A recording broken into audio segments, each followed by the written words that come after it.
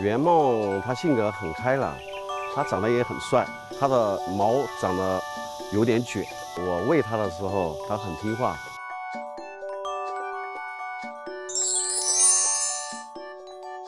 早上上了运动场以后，丰容各方面给它准备好，然后竹子采食也很好。采食完以后，去观察其他的猫在干啥，它想交往那边的猫。我们竹子给它夹在比较阴凉的地方，靠近游客也比较近的地方。吃完竹子以后，然后我们又给它扔点竹笋。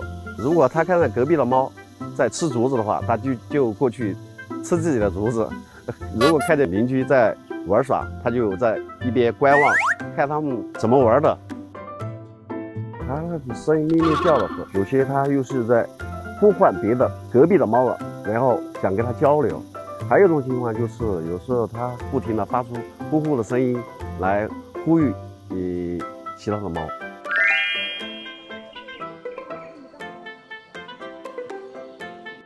I would say this is this is very well built and well run facility. They seem pretty cute. Great to eat. They don't seem to care about us. 首先，它回来的时候很胆小，我们就把竹子给它夹在门口，让它慢慢的适应。然后第二天的时候，再给它移一个地方，让它不胆小的时候，就夹在游客看到的地方。喂它的时候，然后叫它熟悉你的声音，熟悉你的气味。然后经过我们，呃，每天给它做蜂蛹啊，又是做玉米啊，然后萝卜。还有箩筐，还有其他的那个隐藏食物、隐藏丰容，来让它适应适应新的环境。喜欢干的是，它有时候经常去挖煤，弄弄了自己很脏，然后它就有些小鸟啊，它就去那儿追，追的然后看抓得着不？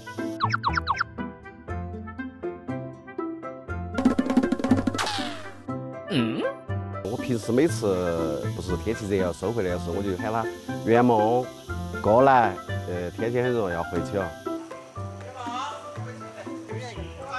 天太热嘛，他就这儿坐在水池里泡澡，有时候躺着泡，有时候睡着泡，用手捞自己的头发梳理一下，然后有时候就是躺在这儿，躺在水池边泡到很久，泡的舒服了，他就回去了。